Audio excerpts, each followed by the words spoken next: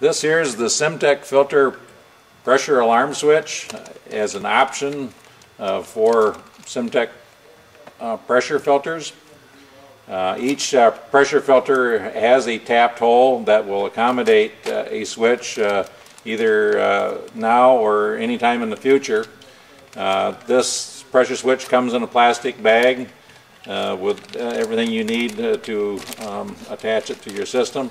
This here is the mounting bracket that we use to actually mount it inside your tank.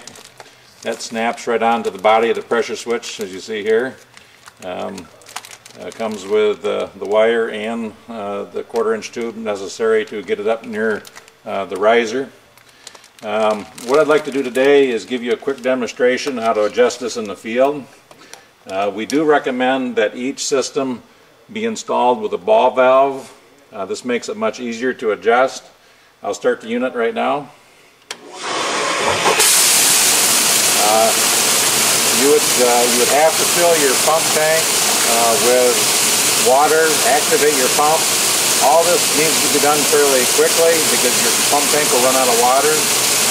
It, uh, I'll remove the 8 inch pipe plug to access the adjustment screw.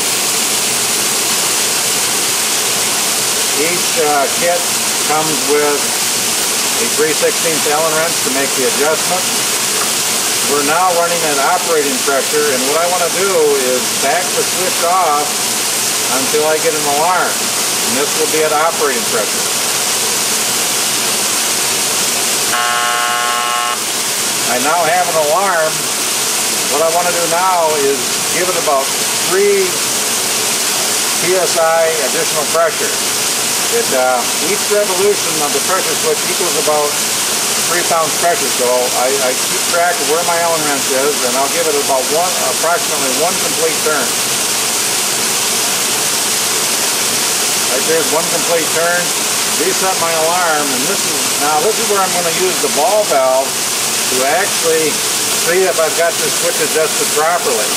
Now watch the gauge, you will see that gauge start to increase as I'm simulating the plug filter.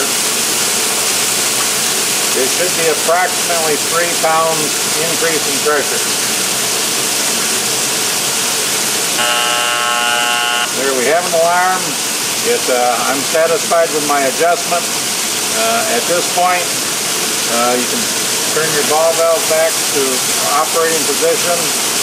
Replace your 8-inch plug Make sure the 8 inch plug is tight so your switch uh, does not get filled with water. Reset your alarm and you're in business.